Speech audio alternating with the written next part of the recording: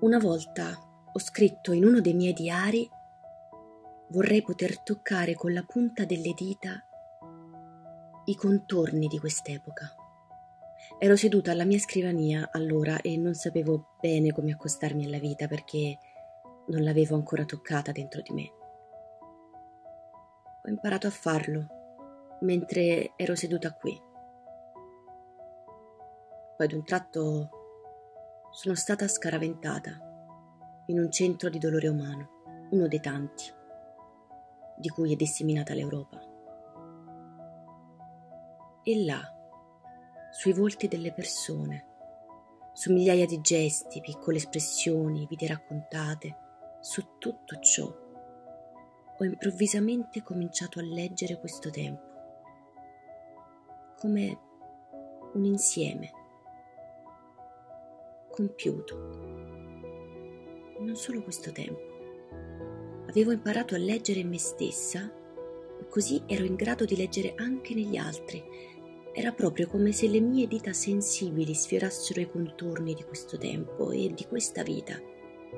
Com'è possibile che quel pezzetto di brughiera, recintato dal filo spinato, dove si riversava e scorreva tanto dolore umano, sia diventato un ricordo quasi dolce? Che il mio spirito non sia diventato più tetro in quel luogo, ma più luminoso e sereno. A Westport ho letto un tratto del nostro tempo che non mi sembra privo di significato. Sì, ho amato tanto la vita quando ero seduta a questa scrivania ed ero circondata dai miei scrittori e dai miei poeti e dai miei fiori e, e là tra le baracche popolate da uomini scacciati e perseguitati, ho trovato la conferma di questo amore. La vita in quelle baracche, piene di correnti, non contrastava affatto con la vita in questa camera protetta e tranquilla. Non sono mai stata tagliata fuori da una vita per così dire passata. Per me esisteva solo una grande e significativa continuità come potrò descrivere tutto questo?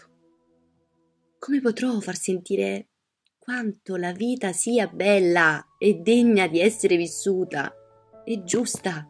Sì, proprio giusta. Forse Dio mi concederà quelle poche e semplici parole? Parole che siano anche colorite, appassionate e serie, ma soprattutto semplici. Come posso rappresentarlo con poche tenere leggere e robuste pennellate, il piccolo villaggio di baracche tra cielo e brughiera. Come posso far sì che anche altri leggano dentro a tutte quelle persone, finché non ci si trova davanti ad un unico grande e comprensibile insieme, incorniciato da cielo e brughiera? Una cosa è certa, non potrò mai scrivere le cose come la vita le ha scritte per me in caratteri viventi. Ho letto tutto con i miei occhi e con tutti i miei sensi, ma non saprò mai raccontarlo allo stesso modo. Potrei anche disperarmi per questo, se non avessi imparato che dobbiamo accettare le nostre forze insufficienti però con queste forze dobbiamo veramente lavorare. Ciao.